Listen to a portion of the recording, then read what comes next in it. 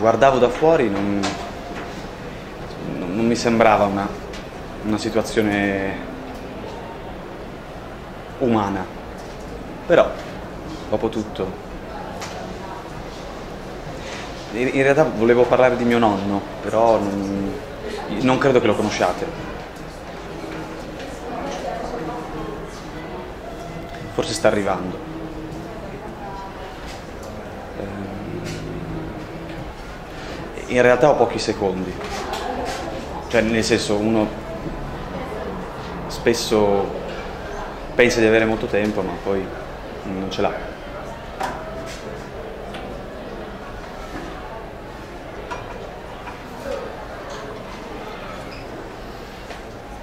Vabbè, il timore è sempre quello di, di, sprecare il proprio tempo, però è anche vero che se non approfondisci certe cose,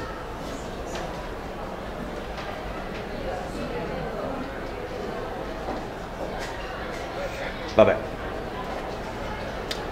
eh, mio nonno ha avuto diciamo un ruolo importante anni fa, mm, conosceva diciamo, tutta la vita intellettuale, letteraria dei primi anni 10, 20, 30.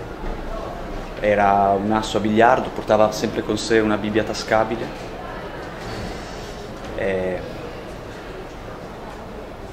Ed è stata anche la madrina di James Joyce.